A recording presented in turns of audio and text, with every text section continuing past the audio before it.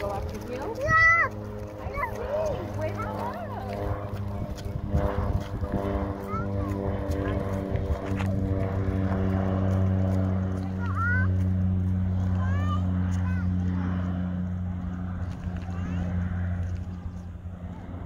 So as we were walking uh, down the road, we're, we're just sort of walking in the in the farm fields, and we spotted a snake skin. It looks like a snake has shed its skin.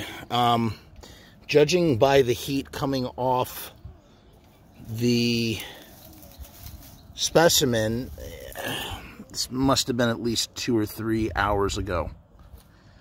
Who knows where the snake is now, but every once in a while a snake sheds its skin.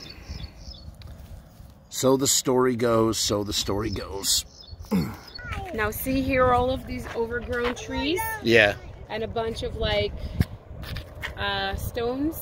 that's a pet cemetery. That's a pet cemetery. We're gonna go right now. No, we're not gonna go now. What? You said we're going to a pet cemetery. Don't have shoes. But I wanted to see the it with a car. pet cemetery. Me too, Noa. I'm upset too. So Noa's having a meltdown as she does, and Jorden and I are gonna go pick out some grapes. So Jorden and I are gonna find a nice, healthy bushel and just seize it for our own personal uses. If we can find, look, there's the plane. We got these guys right here. Jorden, watch out for snakes, okay? This looks like a nice, sexy pile of grapes. Let's just, let's just go for it. These grapes were a, were a two-fister. Took two fists to pull it off the vine. Now we're gonna go home and wash them off and have ourselves a little grape jamboree. Yeehaw! Guys,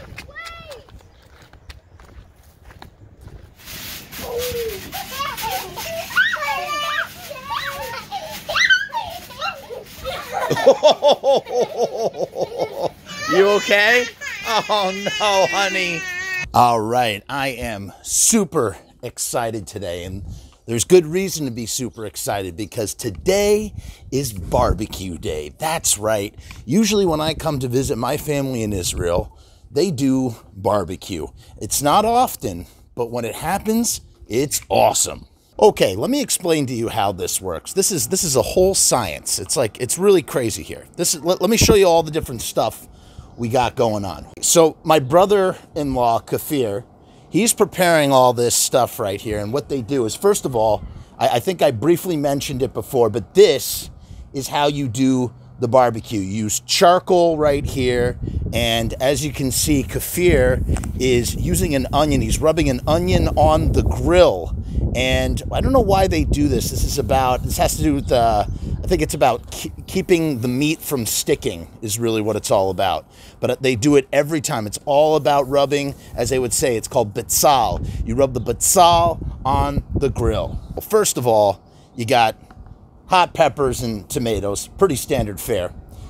Over here is one of my most favorite things, truly delectable and true something that people might find disgusting. These are chicken hearts. The idea of eating a chicken heart to me uh, seemed really vile and repulsive at first.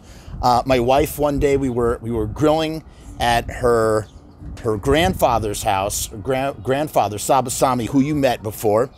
So my wife says, "Hey, close your eyes and open your mouth." And for whatever reason, I decided to listen to her. I did. I closed my eyes and I opened my mouth, and she stuck a big surprise in. And as it turns out, that big surprise was a chicken heart.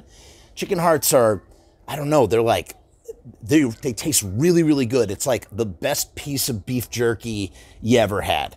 And um, you can eat about a million of them because chicken hearts are about like this big. And so I, I was blown away. And from that moment on, I was I was a convert. I loved chicken hearts.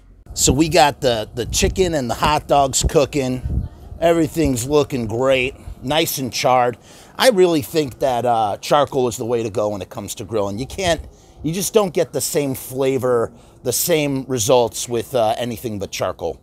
I understand that charcoal is supposed to be bad for you, but you can't argue with the flavorful results of charcoal. That's the truth. Something else we rarely discuss here but needs to be brought up flies. Flies are everywhere in Israel. They are just such a nuisance. It has something to do with the dry heat, but man, they love coming out out of the woodwork, especially when there's food. So these little morsels right here are kebabs, and it's just you take your meat and your onion and your parsley or whatever, and you just make little patties and stick them on skewers. So now Kfir is actually cooling off the grill with a little water. I guess it's too hot. Things are too hot. We need to cool them down. Yeah, get that onion on there. My wife does the same thing when we're in New York.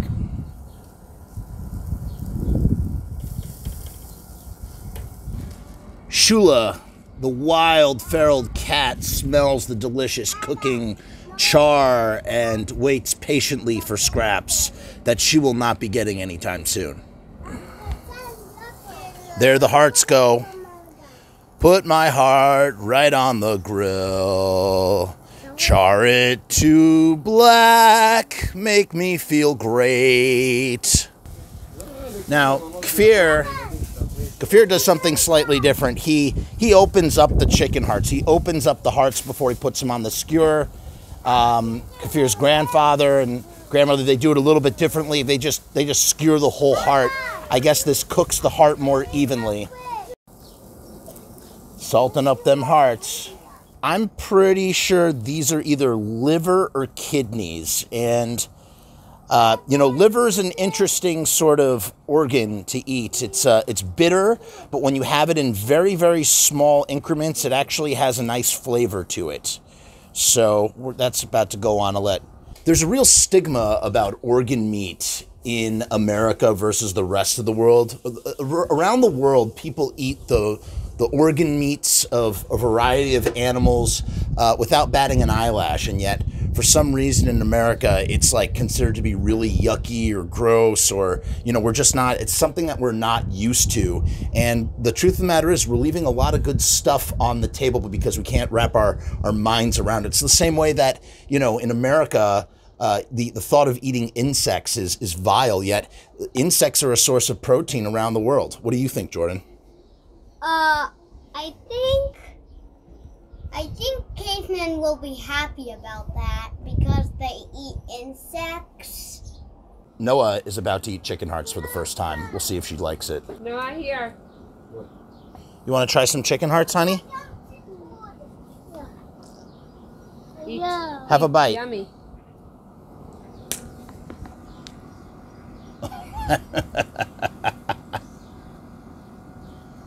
My little daughter eating chicken hearts. Taim, mm-hmm. what do you think of hearts? You're having a heart popsicle?